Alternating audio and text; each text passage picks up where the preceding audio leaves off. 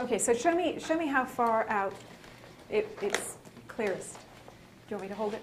No, no, my You're arms okay. are long. They're long enough, you're not having to- enough. No, I can read that. Uh-huh. Okay. Just notice, notice, and you can bring it back and forth just to make sure that's exactly where it would be the clearest for you.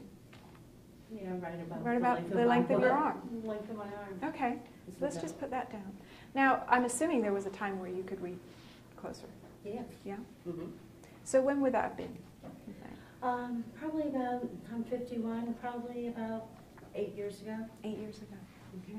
So can you think of a, a sort of a context where you would have been able to read more closely? If you think about, you know, where you were and what you were doing.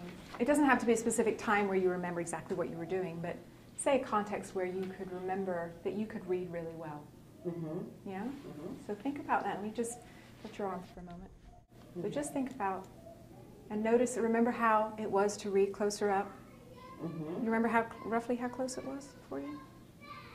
That you, could mean in read? terms of distance? Yeah, that it was Yeah, like right here. right here, yeah. Yeah. yeah. Mhm. And the things it was clear.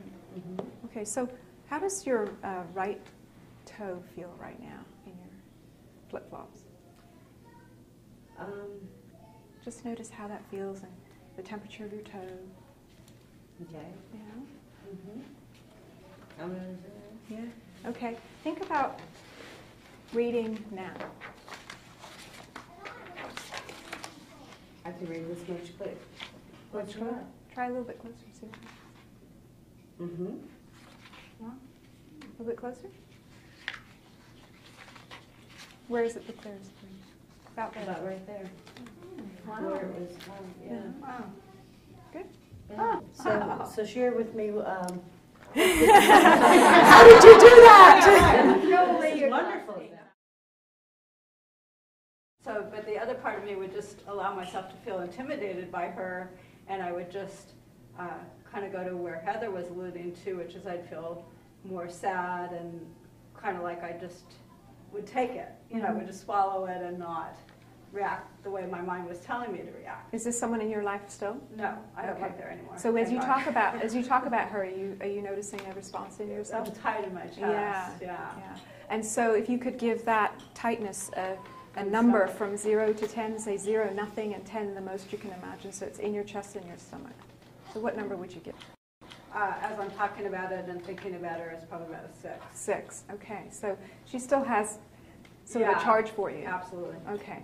Absolutely. All right. So um, Yeah. let's just shake it off for a moment. Just shake it off. There you go. All right. And now um, I, I would expect there's somebody in your life that you.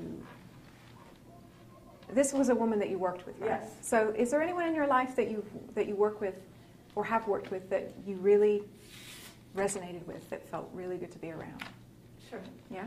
And I'm just going to touch your arm while you're Okay. thinking about this. So just think about this person. Is it a male or a female? Uh, female.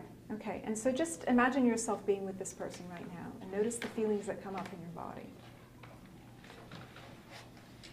Oh, I feel so much more relaxed. Just- Yeah? That's weird. Yeah. And so just, just imagine yourself enjoying being with her.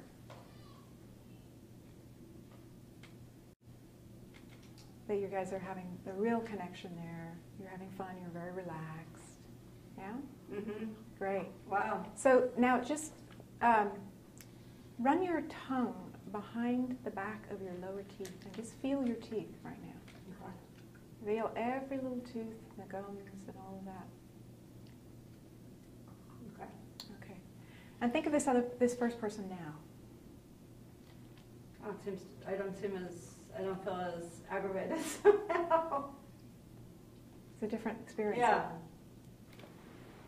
That's interesting. Mhm. Good. Thank you. Okay. What number would you give it now? Maybe a two. Maybe a two. Okay.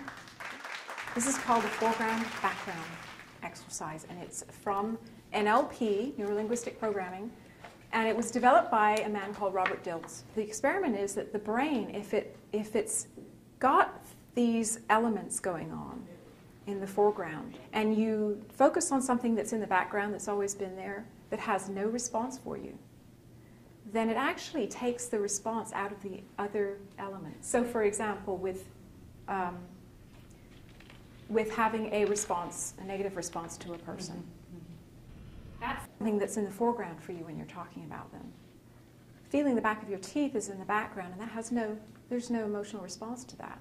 So when you connect it, and what I was doing here by holding your hand was I was anchoring in the positive experience you were having with that person, the other mm-hmm. person, and then you got the background. Your mind went into the background, which was this is something that's always been there. It's the back of your teeth. It's always been there, but you're not thinking about it.